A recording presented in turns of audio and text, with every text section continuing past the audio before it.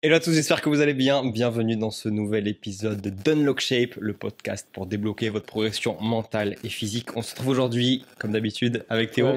Comment ça va, Théo? Écoute, euh, là, ça va mieux. la dernière fois, quand même.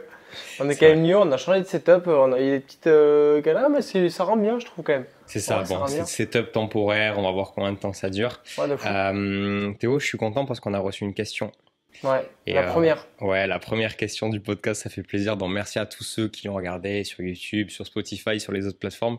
Comme on vous disait la dernière fois, on avait vraiment très envie de commencer le podcast directement avec une question de l'un d'entre vous. Vous savez que bah, moi perso sur Insta, j'ai pas trop le temps de répondre. Ouais, c'est pareil. Ouais, tu vois, des longues questions, je peux pas me permettre de faire genre 5 minutes de vocaux. Alors que là, pour le coup, bah, ça peut être l'occasion. Si vous commentez soit sur YouTube, soit sur Apple Podcast, je crois que c'est les seules plateformes où vous pouvez le faire. Bah, c'est l'occasion justement qu'on prenne le temps euh, de répondre en début de podcast et comme ça, ça nous fait lancer le podcast, donc c'est plutôt cool. Donc je suis en train d'aller, hop, voir la question. depuis YouTube. Ce qui est cool, c'est qu'en plus, tu vois, sur les questions, on peut vraiment développer sur un truc plus long. C'est ça. Cool. Et en plus, ça crée du lien, tu vois, parce que. C'est ça. Insta, c'est trop, c'est trop court, donc euh, Ouais, comme, ça, comme ça, vous avez votre petit nom qui est prononcé dans le podcast aussi. Ouais, en plus, ça, c'est stylé quand même. Genre la star du podcast, euh, c'est ça. stylé. Donc, ceux qui sont sur YouTube, bah, pensez dès maintenant à vous abonner, à mettre le petit pouce bleu et comme on vient de vous le dire, à mettre une petite question pour la fois prochaine. Aujourd'hui, du coup, on va lire le commentaire de Hugo. Du lourd, les gars, j'ai moi aussi eu ces périodes trop changeantes, entraînement fonctionnel, pas de machine. Je me souviens de la hype sur l'huile de coco, puis l'entraînement en haut volume, mais bas en intensité. Maintenant, le contraire qui était trop buté et ne plus écouter les autres possibilités d'entraînement, choix alimentaire. Au final, à trop bifurquer, j'y ai perdu du temps et de la progression. Aujourd'hui, j'adapte, je prends mon critère d'adhésion plaisir en premier en restant à l'écoute des autres possibilités. Ma question pour votre prochain podcast qui va rester dans le thème de celui-là, pour vous, quelle est votre définition slash compétence athlétique pour être un athlète dit complet? Bah écoute, déjà, merci Hugo pour, euh, pour ton commentaire et ta petite question. Du coup, euh, voilà la question. Qu'est-ce que c'est finalement être un athlète complet? Vas-y, je te laisse l'honneur de commencer. Pour moi, un athlète complet, c'est un athlète qui, grosso modo, a su pousser son potentiel physique. Et quand je parle du potentiel physique, c'est ça englobe physique, genre en termes de performance et aussi de, de physique, de composition corporelle. Donc, euh, je vais pas parler de mouvement en particulier parce que pour moi ce serait bête de dire bah du coup euh, quelqu'un qui est fort sur un squat, un bench, un deadlift et qui arrive à faire du handstand, bah, c'est un mec complet. C'est pas forcément ça, mais c'est surtout quelqu'un qui a une capacité d'adaptation sur euh, genre un effort euh, genre assez intense du coup genre squat genre lourd mhm. et en même temps genre un effort type CrossFit et en même temps du coup un effort comme toi tu sais très bien faire genre le street, le handstand ou quoi qui vraiment globalement maîtrise du moins euh, l'ensemble de ces de ce spectre là quoi. Ok, je pense. C'est intéressant. Moi, tu vois, euh, j'avais un peu donné déjà la définition sur le podcast précédent, mais moi, l'idée que j'en ai, c'est vraiment quelqu'un que tu mets dans n'importe quelle situation, bah, il sait s'en sortir. Genre, euh, si demain euh, euh, un physique athlétique et complet, il va faire de l'escalade, il va se débrouiller en escalade. Parce que tu vois, il a, il a su via ce qu'il a mis en place développer son grip. Tu vois, alors que quelqu'un qui fait juste de la muscu, bah toi par exemple, t'as un grip éclaté. Par exemple.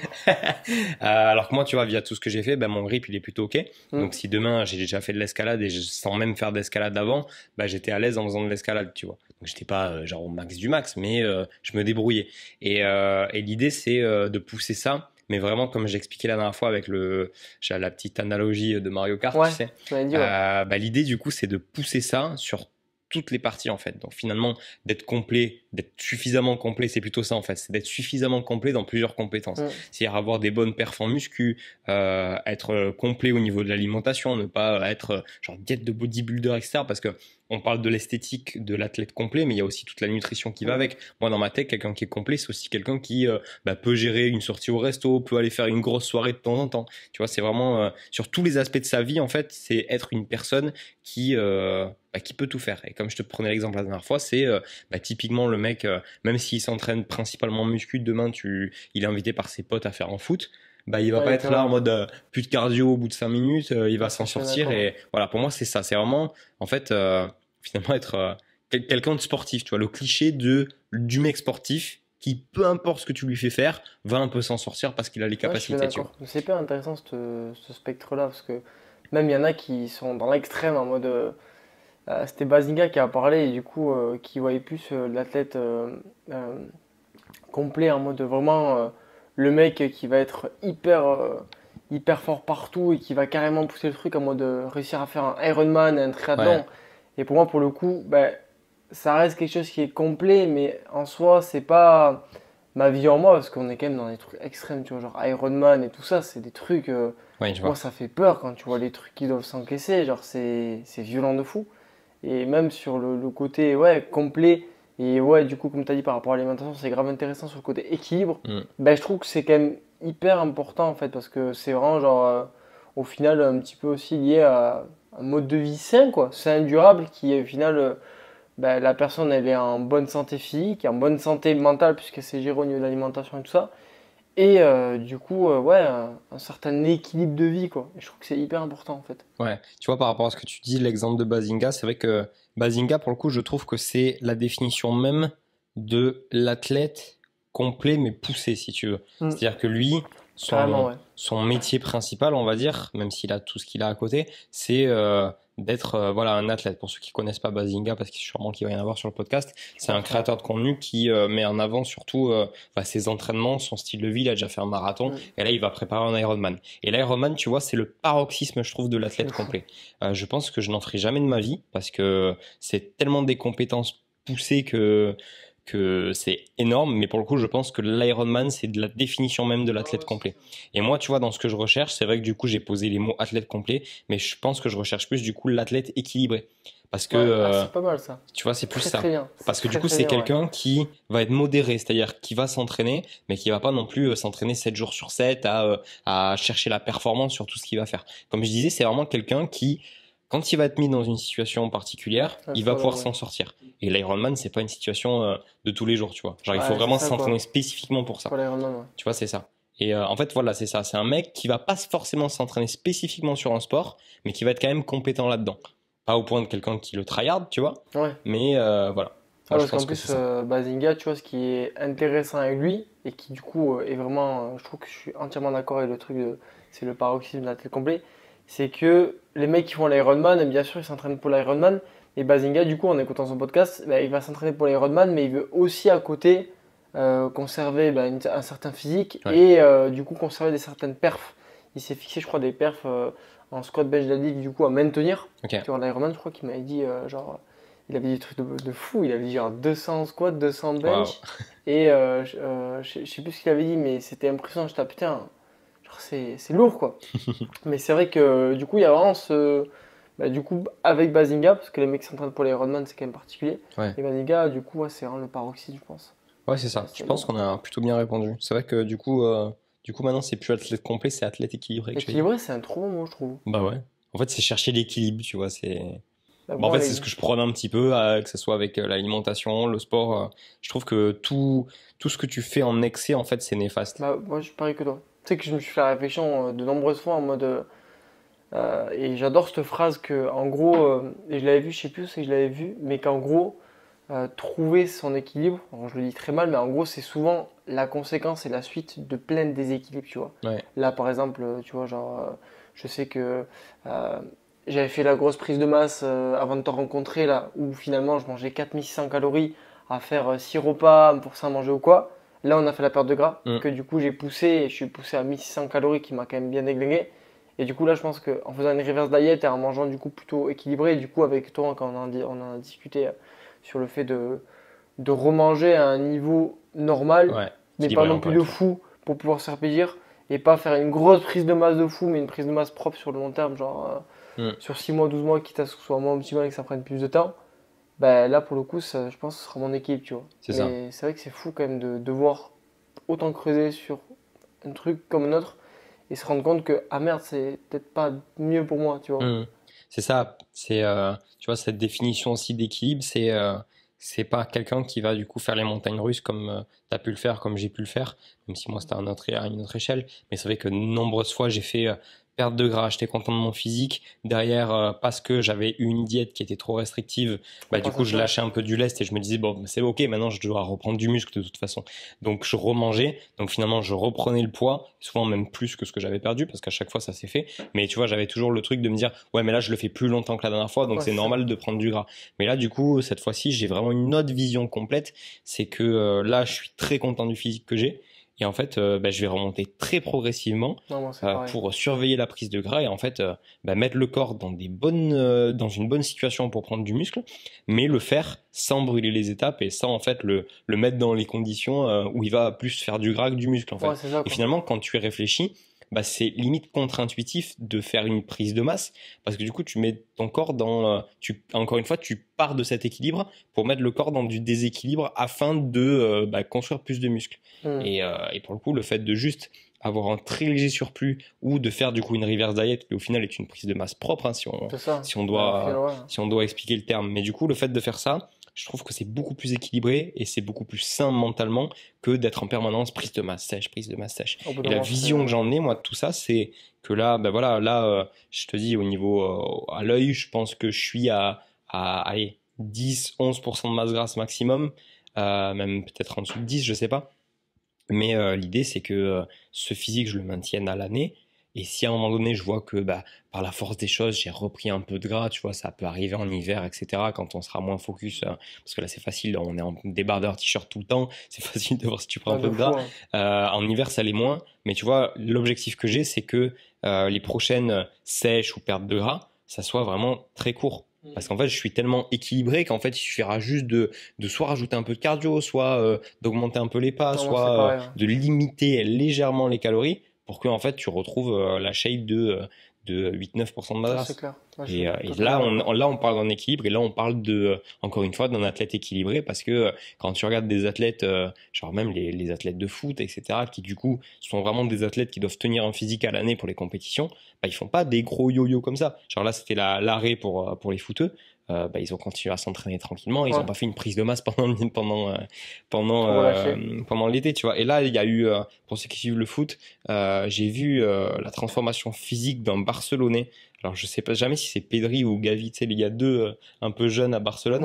Et j'ai vu sur Twitter passer, genre depuis qu'il est arrivé à Barcelone, il a pris 7 kilos de muscles genre vraiment grosse transformation physique. Mais du coup ça s'est fait tu vois sur euh, tranquillement tu vois petit à petit l'entraînement. Genre il a pas fait une prise de masse pour euh, après ils ont des dépenses particulières donc ils doivent manger beaucoup.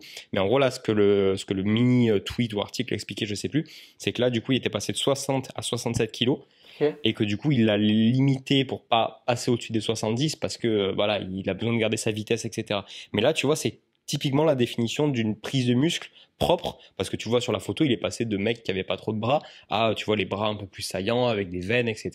Euh, juste euh, parce qu'il s'est entraîné régulièrement, tu vois. et c'est plus ça vers quoi j'ai envie de tendre. Ouais, c'est pareil. Hein.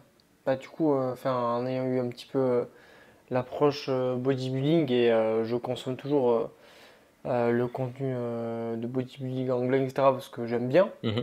en fait, on se rend compte que c'est vraiment genre une une pratique à part, quoi. Genre une pratique à part. C'est-à-dire que le, pour moi, le, aujourd'hui, le, et c'est pour ça que je mets autant le cursus dessus, c'est que le, le truc, la prise de masse sèche, mhm.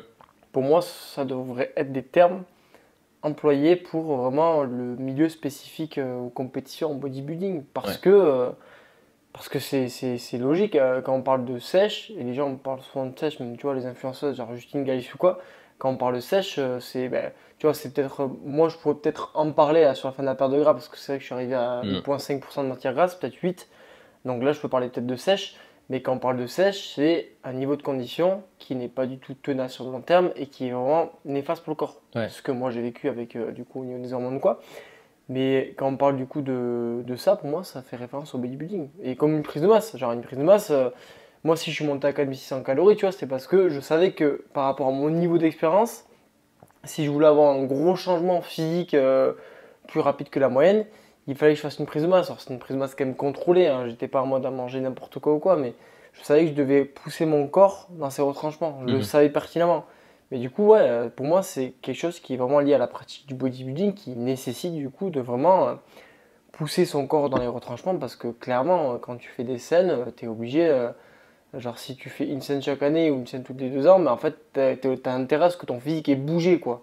Et pas faire une prise de masse propre pour, euh, par rapport aux autres, paraître ridicule, entre guillemets. Donc, c'est normal que les, bodybuilders ils poussent leur corps dans l'extrême, que ce soit naturel ou pas naturel, parce que si tu reviens un an ou deux ans après, mais que tu as bougé un petit peu sans, sans beaucoup, enfin un petit peu quoi, genre euh, ben, finalement tu vas te faire encore éclater quoi. Par exemple, mm. tu as fait un mauvais euh, classement. Ouais. Donc, euh, bah là pour le coup on est dans, dans du spécifique et là du coup ça, ça a un intérêt surtout qu'en général ces personnes prennent des stupéfiants donc ouais. donc de pas des stupéfiants.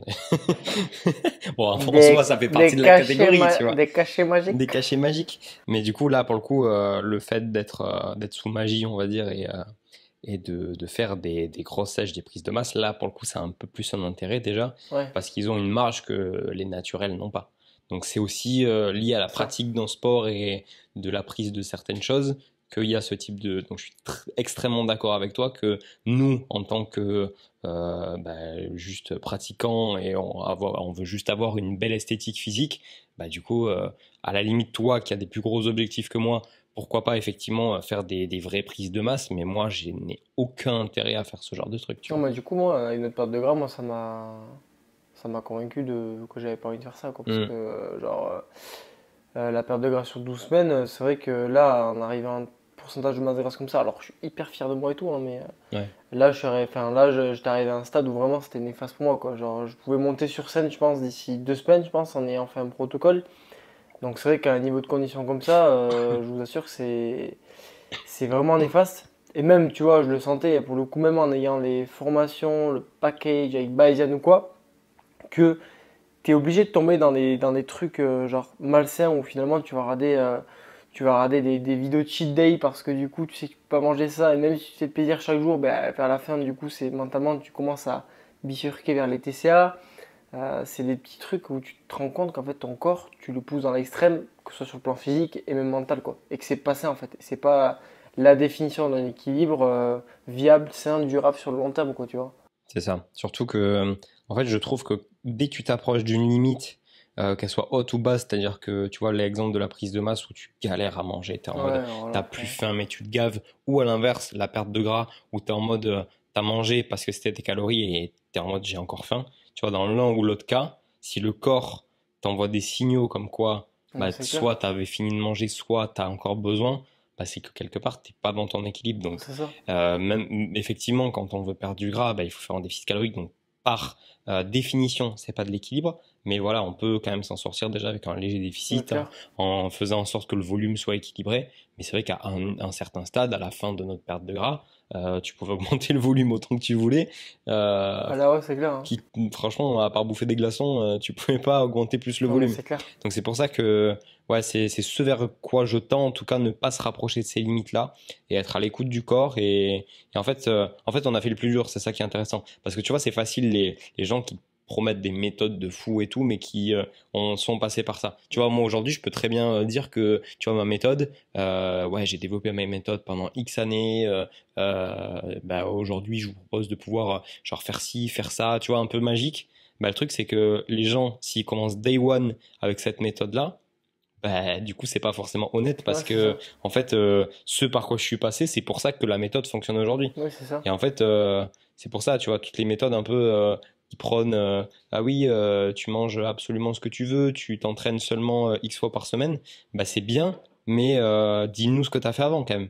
Dis-nous que tu as passé genre 5 ans de ta vie à t'entraîner 6 jours sur 7 en salle que tu as fait des grosses prises de masse que tu as pris 20 kilos de muscles et là effectivement quand tu en es arrivé là bah c'est plus une méthode pour toi te permettre de, de garder tout ça et d'avoir un style de vie qui est ouf et qui est, qui est bien mais c'est pas quelque chose qui va permettre aux gens qui te regardent de faire exactement la même chose. Hmm. Et ça que je trouve un peu malhonnête sur certains trucs. Tu vois. Parce que tu vois, moi, c'est pour ça que la méthode que j'ai développée, euh, bah, du coup, euh, je dis aux gens clairement, bah, vous allez réussir à perdre du gras sans vous priver, en allant au resto euh, quand vous voulez et sans faire de cardio. Sauf que à l'intérieur, je l'ai pensé pour que ça fonctionne. C'est-à-dire que c'est pas juste, euh, je me suis mis en mode bon Pierre, ça fait euh, ça fait cinq ans que tu t'entraînes. Avant ça, tu as fait du poids du corps, donc tu pars avec cette base-là. J'ai pas pris ma base à moi parce que sinon c'est débile. Bah oui. Parce que si je prends euh, ma base, bah, les femmes qui me suivent, par exemple, qui veulent perdre du gras, bah, je vais pas leur dire, ah, bah, du coup, tu vas manger 2500 calories par jour, tu vas te faire trois restos par semaine, et tu vas voir, tu vas avoir des super résultats. Non, il a fallu que j'adapte le truc pour que la méthode et ce que je dise, ça colle à elle, qui peut-être démarre day one avec cette méthode-là. Donc, tu vois, le- la subtilité entre les deux, en soi, le, le packaging est le même, mais c'est bah, l'honnêteté et les- les valeurs qui sont transmises derrière. Parce que ouais, ça peut être facile de, de montrer euh, sa shape tous les jours sur les réseaux et de, de faire genre, bah voilà, euh, avec cette méthode, j'ai, fait ça. Mais clairement, aujourd'hui, si juste je suis ma méthode, bah techniquement, j'atteins pas le résultat que j'ai eu aujourd'hui parce que comme tu l'as dit, on, on a été jusqu'à un truc qui était pas Ouais, sain pour avoir ce résultat-là. Alors que je pense qu'en suivant ma méthode, bah oui, j'aurais pu atteindre euh, 12-13% de masse grasse, qui est l'objectif ultime de la majorité des gens qui suivent mon programme, tu vois. Donc euh, moi, pour le coup, euh, je suis tranquille avec ça, mais c'est vrai que euh, ça serait malhonnête de dire que je me suis transformé uniquement en utilisant ma méthode. J'ai utilisé mes principes, mais pas juste ma méthode, tu vois. Je peux pas dire aujourd'hui, bah, je me suis transformé 100% avec Better You. Genre, je peux dire, bah, j'ai utilisé les principes de Better You, mais au bout d'un moment, bah voilà, sur les trois dernières semaines, bah, clairement, je suis plus allé au resto. Euh, clairement, bah, au niveau des glucides, j'ai dû vachement diminuer parce que bah, j'avais pas assez de calories. Et, euh, et voilà, donc on préfère être honnête là-dessus parce Ouais, que. C'est pareil, moi j'étais transparent tu vois, sur le, le, le post hier euh, et j'ai reçu pas mal de partages par rapport à ça. Où clairement, euh, dans le post, du coup, la transfo, euh, ben, je la trouve incroyable. Genre, Mm. même ça me fait rire parce que genre, je pense à ma mère en fait qui, genre, elle m'a dit qu'elle me préférait sur la photo de gauche avant la transfo. Enfin, ça m'a fait trop rire, quoi. tu vois. Ok, merci pour tous les efforts. Bravo pour ta motivation. Non, mais tu vois, genre, dans ce- moi dans le post, ça me tenait vraiment à cœur de dire, bah ouais, je suis fier. Je suis fier parce que du coup, j'ai atteint ce niveau de pourcentage de masse grasse là. Euh, je me suis dépassé, je me suis moi, je me suis challengé. Mais en même temps, de montrer la réalité. La réalité, c'est que du coup, ça fait genre un mois que j'ai plus de libido. La réalité, c'est que euh, tous les matins, je me tapais euh, le vélo 60 minutes. La réalité, c'est que je suis monté à 15 000 pas. La réalité, c'est que même si je jouais sur le volume alimentaire et le fait de se faire plaisir, comme on le mettait en avant, ben, la réalité, c'est que j'avais quand même faim. Enfin, des trucs que certaines personnes vont pas te mettre en avant ou vont te voiler, vont te cacher. Alors qu'en fait, au bout d'un moment, euh, enfin, faut être transparent, quoi. Genre, euh, Mm. Là, pour le coup, ce qu'on a fait sur, je pense, on, on peut résumer ça sur le, ouais, sur le, le gros dernier mois, même deux semaines avant le salon, on va dire. Ouais. Le gros dernier mois et demi, c'est absolument pas sain. Je pense qu'on on aurait dû s'arrêter, genre, fermé, pour que ce soit quelque chose de plutôt sain. Hmm. Mais là, on est arrivé à un stade de dépenses et de tout ça, enfin, genre, absolument pas simple pour le corps. Et c'est pour ça que c'est important, et comme tu l'as dit, de l'adapter par rapport à une personne, parce que clairement, une personne, tu lui mets ça, mais. c'est normal que, genre, euh, elle n'y arrive pas. Il y a tellement de choses à mettre en place, euh, malsaines pour le corps, genre, mais laisse tomber. Au bout de deux semaines, tu, c'est roue libre. Bah, en vrai, on aurait pu, je pense, le faire euh, un peu plus sainement, mais ça aurait pris plus de temps du coup. Genre, oui, après, on aurait l'approche ouais. plus durable, et puis sur le, sur, le- sur le long terme. C'est tu ça, on aurait pu, euh, par exemple, au salon, tu vois, on avait déjà un physique qui était OK. On aurait pu se dire, bah là, on fait un mois entier de reverse diet Ouais, et après, on et repart. Et là, du coup, tu vois, on aurait pu avoir le même résultat que ce qu'on a aujourd'hui, mais en fin d'été, tu vois. c'est sûr. Mais après, euh, on l'a fait aussi pour euh, se prouver des choses mentalement. Ouais, moi, c'est clair. Enfin, il y avait aussi, ça. il y avait aussi ça. C'est pour ça que, que ça sera reprécisé sous ma photo, moi aussi, sur la vidéo YouTube que je vais faire. Mais c'est c'est au-delà de, d'une simple perte de gras euh, Ah, ben là, saine, oui. comme on peut Les prôner euh, Hmm. absolument tout le temps. Et il y a un truc intéressant sur lequel je voulais rebondir. Tu parlais de ta mère qui te disait euh, qu'elle te préférait avant sur la photo. Ça, c'est un truc, à chaque fois, ça me. C'est pas que ça m'énerve, mais euh, tu vois, je me dis, mais je le fais pas pour toi, en fait. Ça, Ouais, j'avais partagé une photo avant-après de d'une femme sur les sur mes réseaux pour montrer aux gens que en fait entre la photo avant et la photo après, t'as le même poids. Et en fait, euh, du coup, euh, bon, le, le sujet du post, c'était euh, absolument pas ce que je, ce dont je vais te parler, mais j'ai beaucoup de personnes qui ont dit ah moi je la préférais là, moi je la préférais là, moi je la préférais là. Il y en a beaucoup qui la préféraient en du coup en mauvaise santé parce que clairement elle avait trop de gras. euh, parce qu'ils disaient ah mais là elle est trop trop sportive. En vrai, genre ce que vous en avez à penser, on en a rien à faire. Clair. Et c'est comme ça qu'il faut, qu'il faut prendre votre transformation physique personnelle ou la transformation des autres. C'est hyper important. ce Les dit. gens se transforment pas pour vous plaire. Et moi, tu vois, euh, toi, c'est du coup le cas avec ta mère qui te dit ça. Euh, moi, ça a été le cas avec une personne euh, que j'ai vue là dernièrement et que je côtoyais à peu près tous les jours. En plus, c'était, du coup, j'étais avec des personnes qui étaient, tu vois, plus de l'âge des, des mamans, tu vois, euh, 40, 50 ans. Et, et j'avais droit à, ah, fais attention, genre tu commences à devenir trop maigre, tu vois. Non, mais moi c'est pareil, ma mère m'a dit ça, mais tu vois, en plus je te l'ai pas dit, mais du coup c'est marrant parce que, genre, euh, autant du coup ma copine m'a compris à 100% et du coup elle m'a soutenu, mais c'est pas que ma mère m'a pas soutenu, mais genre, tu vois, elle a pas. En fait, je, pense qu'il y a eu le, un mix euh, inquiétude surtout qui a pris le dessus, tu vois. Mais c'est vrai que même en prenant cette, euh, cette dimension-là d'inquiétude, ben en fait, quoi qu'il arrive, genre, juste si ça te plaît pas ou quoi, ben, c'est ok, il n'y a aucun problème. Mais juste, ben, en fait, tu. Enfin, c'est pas ton corps, en fait. Tu vois, c'est mm. pas ton corps. Et puis, euh, genre, moi, je, je, dirais pas que. Euh, comment dire, là, le physique écorché dans lequel je suis, euh, c'est la version qui me plaît le plus de moi. J'aime bien un, un, poil plus grave, ça, ça va revenir petit à petit. Mais il mm. restait quand même plutôt, plutôt, plutôt défiant, on va dire. Mais c'est vrai que c'est hyper important, surtout que du coup, comme, comme tu l'as dit, bah, en fait, on a fait ça surtout sur un aspect euh, mental, dépassement de, de, soi. Et du coup, genre, c'est hyper frustrant de dire, ah, je te préférais là avant. Genre, t'es en mode. Euh, enfin. je le déjà, de, la conséquence physique, oui, c'est cool, mais je veux dire, c'est une conséquence. Mais quand tu dis que tu fais ça pour le côté mental, de, de challenger, de te prouver ou quoi, et que les avis c'est en mode ah ben t'es trop sec, ah ben ça se voit que t'as perdu du poids, ben t'as maigri des joues ou quoi, t'as envie de, de, péter un câble parce qu'ils se rendent pas compte en fait de derrière ce que tu rattaches au truc. Et c'est pour ça que c'est important du coup de se transformer, euh, pas juste une connotation physique, parce que sur le long terme, vous allez, ça va pas le faire en fait, parce qu'au bout d'un moment, euh, vous attachez votre valeur au physique. Pour moi, euh, c'est très néfaste sur le long terme vous n'avez pas juste une valeur qui est rattachée à OTX parce que vous êtes sec, que du coup vous pesez dans le gain de la société ou quoi. Mm. je veux dire, c'est, ça, c'est vraiment quelque chose qui est important à comprendre, d'avoir vraiment une, une, raison et un pourquoi qui est profond de s'entraîner, même de, de s'alimenter correctement ou quoi. Parce que sur un objectif de long terme, comme je le dis, en fait, genre, tu, tu, vas juste détruire ta confiance en toi et, et, ton estime de toi. Pour moi, tout ça, c'est faussé si tu passes tout sur physique. Donc c'est vrai que c'est hyper faussant d'entendre des personnes comme ça, tu vois. Genre, c'est ça. Après, tu sais, je pense que derrière, il y a aussi le fait que tu renvoies euh, à cette personne la propre image de, mm. de son possible échec. Ouais, je pense qu'il y a ça aussi derrière. Parce que je pense que les gens qui ont, tu vois, tu, tu fais, il y a des vidéos qui existent partout comme ça sur, sur TikTok, sur YouTube, euh, où euh, tu as des mecs qui montrent à des filles les physiques, tu vois, et elles disent qu'est-ce qu'elles qu'est-ce qu'elles préfèrent. Mm. Et dans 100% des cas, c'est le mec qui essaie, qui a des abdos.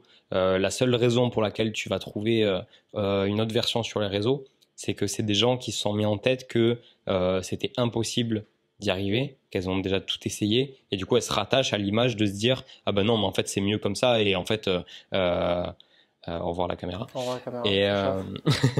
Et, et ils se rattachent à l'idée de d'être juste là en mode bah, j'y arrive pas, donc bah, lui s'il y arrive, bah non, en fait c'était mieux avant. Et en fait, tu vois, ils se mettent tellement le truc dans la tête. Donc, après, je suis sûr, il y a des personnes euh, qui se sentent très bien, il n'y a pas de souci, euh, il n'y a aucun problème. Mais je pense qu'il y a aussi beaucoup d'hypocrisie en mode, euh, bah ouais, t'as réussi à faire quelque chose que j'ai jamais pu faire. Donc, je n'assume pas le fait que que, bah, que je t'encourage là-dedans, tu vois. Après, euh, dans le cas de ta maman, c'est pas ça. Forcément, euh, euh, là, c'est une autre, un autre prisme parce que c'est pas des gens qui s'entraînent, donc forcément, tu vois le côté malsain. En plus, genre, si elle te voit manger ce que t'as mangé ou faire tes pas dans le couloir. Clairement, je sais que c'était full inquiétude parce tu vois, c'était pour ça aussi. En plus, elle a fait le parallèle par rapport à en 2019 où j'avais eu ce, les TCA, mm. sachant que j'étais anorexique aussi quand j'étais petit. Donc clairement, c'était full inquiétude. Même si du coup, après, je lui ai expliqué, elle a mieux compris, tu vois. Mais euh, c'est vrai que du coup, pour rebondir à ça, je trouve ça hyper, euh, hyper énervant quand même, tu vois. Bien sûr. Je trouve ça quand même hyper énervant, parce que bon, quand tu rattaches autant de choses euh, profondes, même pour toi, genre de, dépassement ou quoi, tu te dis putain, mais vous vous rendez pas compte, même les. En vrai, même les bodybuilders, c'est un bon exemple, parce que c'est vrai que genre. Ils sont vraiment dans un mode de vie qui est hyper malsain sur la fin d'une compète. faire une compète, c'est hyper malsain, genre la pique week, toutes ces choses-là. Mm. Et tu te rends compte que finalement, ouais, ils affichent leur physique sur une compète ou quoi, mais ils font pas pour le physique. Enfin, genre, clairement, ah non. l'accomplissement derrière d'avoir une compète et peut-être de gagner, c'est clairement pas pour le physique. Je pense que quand tu es bodybuilder et que tu sais faire euh, comme nous on sait faire par rapport à notre corps, tu sais perdre du gras, prendre du muscle comme tu veux. Euh, clairement, si tu rattaches euh, ça pour une compète, tu vas pas gagner, c'est hmm. sûr. Ok, on se retrouve avec la caméra de Théo. Là, on n'aura plus de problème pour, pour filmer. Du coup, je sais même plus ce qu'on était en train de se dire. si on parlait du regard des gens et que surtout l'objectif c'était de faire les choses pour soi et que et du coup je te parlais de l'hypocrisie du coup de certaines mmh. personnes de au final, ça, ça leur reflétait leur fait. propre échec et en fait, c'est pour ça qu'elles venaient à critiquer. Ouais. Après, là, je te parle surtout des, tu vois, typiquement des, des haters, tu vois, qui, Ouais, qui ça, vont être là en mode, euh, ça. hein. en mode à critiquer. Et après, tu as certaines personnes qui ont pas l'impression que qu'elles font quelque chose de négatif, mais du coup, en fait, elles sont tellement ancrées dedans que en fait, elles peuvent pas, euh, elles peuvent pas faire autrement, tu vois. Mm. Alors que je te disais, bah, dans le cas d'une maman qui juste s'inquiète parce qu'elle sait par quoi t'es passé, c'est euh, c'est logique. Mais après, tu vois, moi, ça, ça change parce que j'aurais pu avoir cette discussion avec ma mère il y a quelques années en mode euh, ah bah euh, fais attention machin alors que là tu vois ça fait euh, maintenant euh, un an et quelques qu'elle est inscrite en salle de sport. Et là du coup euh, euh, elle voyait bien ma condition elle voit que j'ai les abdos qui sont revenus etc et euh, là elle me disait ah moi j'arrive pas à perdre là c'est compliqué tu vois donc elle elle est, elle est dans une vision aujourd'hui où euh, vu que euh, elle a aussi pour objectif euh, de perdre un petit peu du gras etc bah, elle m'a jamais dit euh, c'est pas sain ce que tu fais ou, ou autre, tu Mm. vois. Et ce qu'elle m'a dit euh, c'était euh, il y a deux jours elle m'a dit ah mais moi de toute façon je m'en fiche ça prendra le temps que ça prendra mais euh, je vois que j'ai des résultats donc c'est ok tu vois Cool. donc euh, ça dépend vraiment de, de où la personne est de ce qu'elle a traversé pour, euh, pour aujourd'hui arriver et commenter une photo Instagram ou dire en face Oh, attention t'es un, peu mec surtout que moi la personne qui me l'a dit en face en mode oh fais attention euh, euh, genre là ça devient un peu trop va pas trop Ouais, loin ça, moi, je porte H24 des trucs oversize. Donc, euh, techniquement, en plus, avec mon, mon bras court, t'as l'impression que j'ai plus de bras, alors que juste, euh, je soulève le bras, je fais un petit flex du triceps et on est bon, tu vois. Ça, c'est une réalité. Ça, quand on perd du gras, on a l'impression qu'on n'a plus de bras. C'est horrible. C'est ça. Et surtout, il y a aussi tout cet aspect de, euh, t'as plus de glycogène, t'as plus d'eau, Ouais. donc tu fais beaucoup plus plat. Et en fait, moi, c'est ce que je lui explique à chaque fois. Je lui dis, mais attends, je- là, ça fait 4 mois que je suis en déficit, forcément, euh, euh, là, euh, tu me revois dans deux semaines, je vais plus avoir la même gueule. Mm. Et après, il y a aussi toute cette réalité génétique qui fait que euh, bah, je pourrais euh, euh, pas avoir, euh, avec les, la même circonférence que la majorité des gens, je pourrais pas avoir un bras qui fait aussi massif. Et moi, ça, je, tu vois, je suis passé bien, bien au-delà, il y a aucun souci. Pareil, tu vois, au niveau de mes avant-bras, bah, j'ai des petits os, donc forcément, j'ai pas un avant-bras énorme, j'ai pas de veines sur l'avant-bras, donc mes veines, elles sont sous l'avant-bras, donc ça fait pas un truc très euh, veineux, très massif. Et en fait, toutes ces raisons font que, bah, euh, quand tu regardes juste avec un t-shirt, tu peux dire, ah ouais, là, ah ouais, t'as maigri, tu vois. Et, euh, encore une fois, comme je te dis, ça, c'est aussi projeter ses propres, euh, ses propres, euh, ses propres peurs, ses propres, euh, je pourrais même pas comment te le dire, euh, en me voyant, parce que c'est une personne qui, même avant que je commence ma sèche, elle était là en mode, ah mais ça je peux pas manger, machin. Ouais. Euh, et en fait, elle est déjà comme ça. Et euh, en fait, elle me voyait du coup plus mince qu'elle, alors qu'elle est réellement comme ça. Et du coup, là, tu vois, c'est, je pense, un truc dans sa tête. Euh, ouais, là, en mode un peu des TCA et tout. Et du coup elle, elle a un gros souci au niveau du prisme de la réalité parce que euh, hein. parce que c'est incomparable entre ma situation et sa situation. Genre limite j'étais en mode euh, non mais attends vas-y je vais enlever mon t-shirt tu vas voir si je suis maigre tu vois. parce que c'est ça tu mets un t-shirt oversize euh, tu vois pas les pecs tu vois pas les abdos euh, fait- effectivement ça te fait un truc assez plat. T'enlèves le t-shirt t'es là en mode ah oui en fait euh, je veux bien avoir le même physique que toi tu vois Comme ça. c'est une réalité mais du coup euh, du coup on était parti de la question d'Hugo quand même Oui, c'est vrai, ça. ça fait euh, euh, ça fait ça fait combien de temps? Je sais ça plus. fait- 30 minutes? 35 je Ouais, je pense pas. qu'en vrai, on a 32 peut-être. Je sais pas, je sais pas, j'espère En que. vrai, en coupant, on sera 32 à mon avis. Ok, j'ai eu un peu peur parce que mon ordi s'était verrouillé et Ah.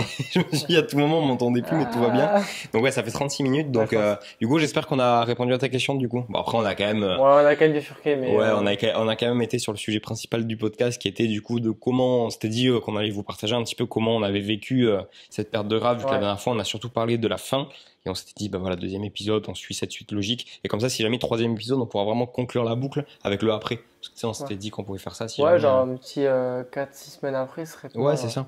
Comme ça, euh, déjà, on, on peut donner la, on peut montrer aux gens comment ça, ça évolue. Déjà, juste pour parler de l'évolution rapide, moi, j'ai atteint du coup ce matin mon poids encore le plus bas Ouais, j'ai vu, ouais. Alors que tu vois, ça fait deux jours que je suis remonté en calories, euh, mais comme je te dis, en fait, on a tellement accumulé de déficit que, euh, en fait, on va continuer tranquillement. Et c'est là aussi où j'étais pas inquiet, c'est-à-dire que je suis arrivé à la fin de ma perte de gras, euh, j'étais en mode ah ben j'ai pas totalement perdu mes poignées d'amour, ah ben il me reste encore un peu au niveau du bas du ventre, mais je sais qu'en fais- en faisant en fait ce qu'on va faire, ben, je vais quand même avoir des petites semaines encore où je vais Ouais, ouais, ouais. tranquillement diminuer. Donc c'est ok, tu vois. Et, euh, et du coup, ouais, pour, euh, pour resituer un petit peu, donc on a expliqué sur l'épisode dernier comment on avait eu l'idée de démarrer tout ça, qu'à la base Ouais. tu voulais pas forcément me suivre et que, euh, et que finalement tu t'étais embarqué dans le truc parce que tu t'es dit bah, pourquoi pas, pour tout l'aspect mental, etc., qu'on vous a déjà détaillé. Mais euh, déjà la, la mise en place. Moi je vais parler, on va faire mois par mois, tu sais quoi. Ouais, déjà, au départ, on a commencé en mars. Ouais. Donc, euh, au départ, clairement, c'était easy. Ouais, au départ, c'était easy, puisqu'au final, euh, alors moi, j'ai commencé un poil plus tard que toi. Ouais. Mais les deux, au final, on est parti de notre maintenance, on a baissé les calories, puis. C'est ça, je suis, je suis parti, euh, mes premières semaines de déficit, j'étais à 2500 calories, tu vois. Ouais. Donc euh, forcément j'étais trop bien. C'est là où en plus j'étais en train de créer Better You à ce moment-là. Donc euh, j'ai pu vraiment tester la méthode. Et encore une fois ce que je vous disais tout à l'heure, bah, j'ai testé la méthode en l'adaptant à moi et pas en la faisant euh, telle quelle parce qu'elle n'est pas adaptée à, à quelqu'un comme moi. Mais, mais du coup c'est là que j'ai pu tester. Et là ouais c'est vrai que c'était hallucinant à quel point c'était facile. Et toi, ça a été une masterclass parce que Pierre et moi, on n'a pas le même métabolisme. Ouais. Et Pierre, il a diminué une fois ses cales. Ouais. Et il perdait chaque semaine. Et moi, j'étais là, bah, du coup, je baisse cette semaine. Bah, du coup, je baisse cette semaine. Parce que moi, j'ai un métabo qui est beaucoup plus adaptatif que lui. C'est-à-dire qu'en fait, euh, grosso modo, pour la, pour la faire courte, c'est vrai que il n'y a pas des morphotypes, mais Ouais. généralement, enfin, pour avoir de l'expérience, euh, etc., il y a généralement deux types de métabos. Il y a des métabos qui sont plus ou moins adaptatifs. Un métabo qui va être hyper adaptatif comme le mien, ça va être quelqu'un qui va avoir besoin de beaucoup manger en prise de masse ou prise de muscle pour prendre du, du- du poids. Parce qu'en fait, euh, le métabolisme s'adapte tout le temps et que du coup, ben, le nouveau euh, seuil de maintenance, il est toujours plus élevé petit à petit. Et pareil en perte de gras. Donc c'est cool, hein, on mange beaucoup du coup euh, quand on veut prendre du muscle. Mais par contre, en perte de gras, c'est vrai que ça descend très vite. Et c'est vrai que ben, toi, du coup, je sais pas quand c'est que tu as passé le, cap de baisser, mais moi, je, faisais que baisser. Et toi, tu étais tranquille, j'étais bon, ok. Ça a été tard parce que moi, comment j'ai mis les choses en place, en fait, au départ, j'ai pas du tout baissé mes calories. Euh, limite, au début, j'ai même pas compté, je crois. Mais en fait, ce que j'ai fait, c'est que juste au départ, je me suis dit, je vais faire 10 000 pas par jour. Parce que je le faisais pas à cette époque-là. Genre vraiment, je devais le faire une ou deux fois. Ah, mais oui, c'est vrai, tu je vois, j'ai commencé comme pas, ça. Pas, tu faisais pas beaucoup, ouais. C'est ça. Et du coup, j'ai commencé comme ça. Donc, en fait, moi, c'est les 10 000 pas qui ont d'abord créé mon déficit. Et en fait, c'est une fois, et ça a duré genre un mois et demi. euh, C'était vraiment. euh, fou, hein. et en fait, c'est une fois que les 10 000 pas seuls ne suffisaient plus, qu'après, j'ai commencé à diminuer mon alimentation. Mais du coup, moi, au départ, c'était vachement chill par rapport à ça. Et du coup, euh, c'était vraiment cette vie-là. C'est-à-dire que je me tapais euh, deux, trois restos par semaine. euh, je me faisais des dingueries à manger. euh, J'étais tout temps en train de me dire, putain, euh, j'ai encore 400 calories alors que j'avais fini ma journée. Et du coup, c'était trop facile. Et toi, quand, quand je voyais que tu galérais, alors que moi, j'étais déjà en Ouais, mode, de euh, fou. hein. et, et sur la balance, euh, je voyais au début, euh, première semaine, je perds un kilo, semaine d'après, Ah je perds encore un en kilo. hein. Après, ça, ça a diminué normalement, mais euh, au début, ça, bah, après, au début, ça va toujours vite parce qu'on a toujours de l'eau, Ouais. etc.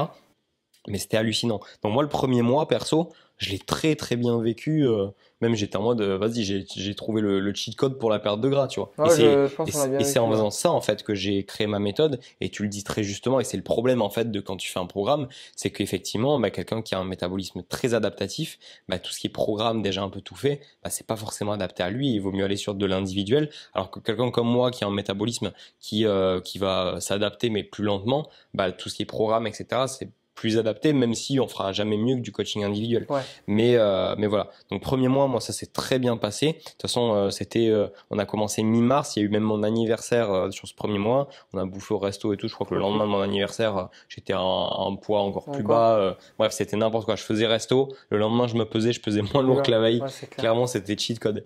Euh, deuxième mois, euh, le deuxième mois, bah, j'ai commencé du coup à baisser mes calories à ce moment-là, Euh, et on a été jusqu'au au salon du fitness, pendant lequel après la semaine, on a fait un diet break. Ouais.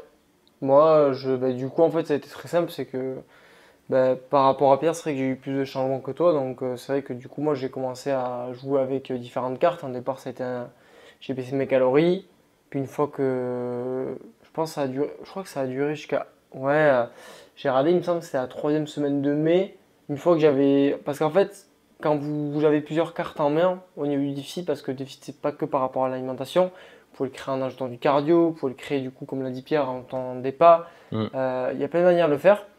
Et c'est vrai que par rapport à l'alimentation, il y a quelque chose qui est important à comprendre, c'est que si vous poussez la carte alimentation trop loin en termes de déficit, ça peut être compliqué parce que euh, le fait de toujours pousser le déficit, vous allez accentuer un niveau de faim qui est assez énorme. Et euh, bah, niveau adhérence au plan, c'est pas fou. Et moi, je sais que je suis quelqu'un qui aime bien manger. Donc j'ai vraiment poussé la carte alimentation, tu vois, en, mai, je crois que je suis descendu à 1900 cales et je me suis arrêté là. Et après, j'ai commencé à mettre de cardio parce que Ouais. je savais que si je poussais l'alimentation plus bas, ça allait être compliqué par la suite, tu vois, niveau, niveau ferme. Donc après, du coup, comme tu l'as dit, euh, voilà, on a, on a poussé ça jusqu'au jusqu'au salon et on a fait du coup un diet break Donc, euh, je te laisse expliquer ce que c'est un petit peu. Ouais. En gros, du coup, euh, bah, comme certains d'entre vous l'ont suivi, pour ceux qui suivent les stories et compagnie, on a été du coup au salon du fitness. euh, on a été invité par Aurélien Roy pour bah, pour lui donner un coup de main sur son stand avec sa société Gymflix. Et du coup, on a, il y avait Flequigno aussi qui était là. Il y avait son cadreur. Ouais. Et en gros, bon, on s'est dit, bon, on va quand même avoir un week-end qui va être un petit peu plus calme. Donc, euh, vas-y, autant, euh, autant se faire plaisir et euh, pouvoir commander des trucs sur Uber Eats. On avait des restos qu'on voulait absolument faire à Toulouse. On est passé aussi euh, par, euh, par là où je vivais avant, donc j'avais des bonnes adresses. On a chopé des cookies qui étaient incroyables. Mm. Euh, du coup, on s'était dit, ben, ça va être le moment parfait pour euh, lâcher un peu prise, mais en restant, genre, on n'est pas allé au, au sushi à volonté, par exemple, tu vois. Mais c'était l'idée de d'avoir un week-end. Enfin non, c'était une semaine du coup, puisqu'on a fait Ouais. du samedi au samedi. Bah du coup, c'était une semaine où vraiment, en fait, moi le week-end, j'étais beaucoup plus en roue libre que toi parce que pour le coup, j'ai pas du tout compté. et- Mais après, en même temps, on a mangé, on mangeait surtout un repas par jour et Après, le final, reste du euh, temps. on euh, a- tu vois, en étant en roue libre, euh, ben moi, quand, quand j'y repensais, je me dis, ben, j'aurais peut-être plus lâché la grappe parce qu'en fait, on a été en déficit tout le week-end, je pense. Ouais, On bah, c'est pour ça. congé, hein. Et après, du coup, la, la semaine, la semaine qui venait, moi, franchement, j'ai hésité à le faire. Je m'étais dit, je me sens tellement bien que est-ce que je prends une semaine pour remonter? Et finalement, bah, je l'ai fait. Et en fait, pendant la semaine qui suivait, on s'est remis en fait en maintien calorique. Et euh, en fait, euh, c'était juste une semaine qui permettait au corps de souffler un petit peu afin après de reprendre un, un puro déficit. Et c'est techniquement ce que ce qu'il aurait fallu faire sur une période plus longue Ouais. si on avait vraiment voulu faire les choses Ouais, sainement. Mais, euh, mais du coup, on l'a fait sur une semaine. Et après, du coup, il y a eu ce dernier mois où moi, la seule chose que j'ai changé, j'ai diminué un peu mes calories, du coup, encore une fois. Et euh, donc, j'ai commencé, non, j'ai pas commencé par diminuer les calories, j'ai d'abord rajouté un peu de cardio, Ah oui, euh, ce que j'avais jamais fait, mais là, je l'ai, je l'ai pris sous, sous une toute autre forme que d'habitude. C'est-à-dire que je me suis dit, euh, bah, vas-y, tu vas, tu vas faire comme quand tu t'entraînes en muscu, c'est-à-dire que tu vas essayer de faire mieux à chaque fois. Et du coup, bah, c'était, c'était cool parce que c'était motivant. Et euh, du coup, j'ai mis ça en place. Donc forcément, ce qui était marrant, c'est qu'au début, ça m'a un peu chamboulé. Tu t'en souviens ma, mon évolution parce que du coup, bah, c'était un stress supplémentaire pour le corps. Donc Ouais. forcément, après sur la balance, ça réagissait pas pareil. Et j'avais vu qu'au départ, dès que je courais, bah, le lendemain, c'était un peu chelou sur la balance. Donc ça, faites attention si vous faites euh, ce genre de sport, bah, ça peut euh, derrière euh, Prenez faire des petits changements, pour, euh, voilà. pour l'évolution. les mensurations, les photos. Mais euh, par contre, j'ai vu que très vite, en, en ajoutant du cardio, bah, ça a séché beaucoup plus. Parce que forcément, j'y allais deux fois par semaine. Deux fois par semaine, tu rajoutes environ euh, genre euh, 500 calories de déficit. Donc ça me faisait euh, 1000, 1000 calories en moins sur la semaine juste avec le cardio. Donc forcément, ça a boosté les résultats. Et après, pour finir, du coup, c'est là que je pense que pour moi, ça a été la la période la moins saine, c'est-à-dire que là j'ai réenlevé des calories et du coup j'ai passé les deux trois dernières semaines à 1700 calories. Et encore, tu vois, je te dis 1700 calories, je pense que tu remontes un petit peu sur ma chaîne YouTube, t'as des vidéos où genre euh, en début de 16, je faisais une journée à 1800 calories. Hmm. parce que euh, parce que euh, j'étais totalement extrême de ce côté-là et je me rendais même pas compte. Alors qu'aujourd'hui euh, genre là je tu m'avais dit, t'as fait des journées hyper basses. Bah ouais. Comment t'as fait qu'on en passait pour faire ça quoi Parce que Alors moi, que là, euh, là, à 1700 calories, je souffrais, Ah ouais. alors que j'ai passé, euh, je me souviens, j'avais même testé euh, un été, un mois à 1400 calories, parce que je voulais tester un protocole de perte de gras rapide, où tu maximisais les protéines, m'en avais tu, parlé, ouais. tu continuais de t'entraîner, et bah, effectivement, j'avais eu des résultats rapides, sauf que le problème derrière, c'est que j'avais pas du tout pu stabiliser, et en fait, j'avais été j'avais été tellement frustré que direct après j'avais rebouffé et après c'était la période où je n'étais pas encore guéri totalement de, de mes troubles alimentaires. Donc euh, forcément c'était pas évident. Mais là aujourd'hui euh, franchement je suis très serein.